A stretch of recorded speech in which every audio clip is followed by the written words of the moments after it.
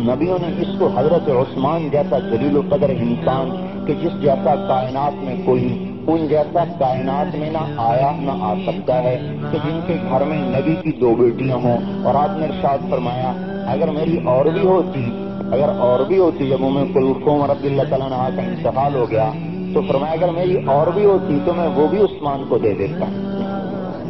اور جو ایسے حیا والے، ایسے مقام والے تھے کہ آپ کمرے میں تشریف فرماتے، حضور کی خدمت میں جبری علیہ السلام اور ملائکہ آسمان سے آئے اور دروازے پہ کھڑے ہو گئے۔ آپ نے فرمایا، اندر کیوں نہیں آتے؟ اندر آ جاؤ۔ شاہ عرض کی یا رسول اللہ، عثمان کا گریبان کھلا ہے، ہمیں ان سے شرم آ رہی ہے۔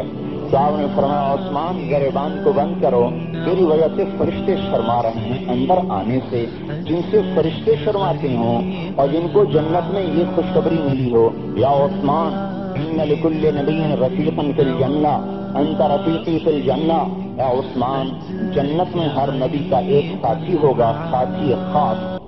تو میرا جنت کا ساتھی ہے۔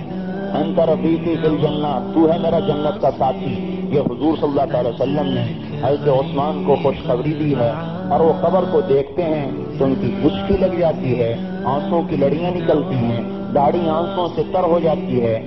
سینہ ہانڈی کی طرف کھولنے لگ جاتا ہے۔ حالانکہ یہ وہ ہیں جن کے لیے قبر جنت کا باغ بننے والی ہے۔ وہ قبر کو دیکھ کے زارو قطار روتے ہیں۔ اور میں اور آپ قبر پہ کہے لگاتے ہیں کہ جن کو پتہ نہیں کہ ان کی قبر ان کے ساتھ کیا کرنے والی ہے۔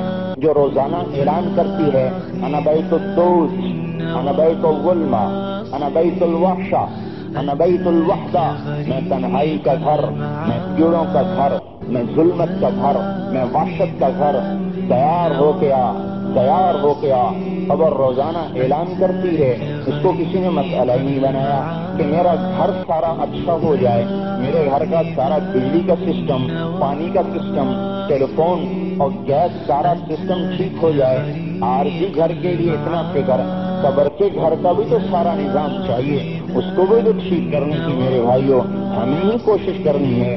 ہم یہ نہیں چاہتے کہ ہماری قبریں دوزخ کے گہے بن جائیں۔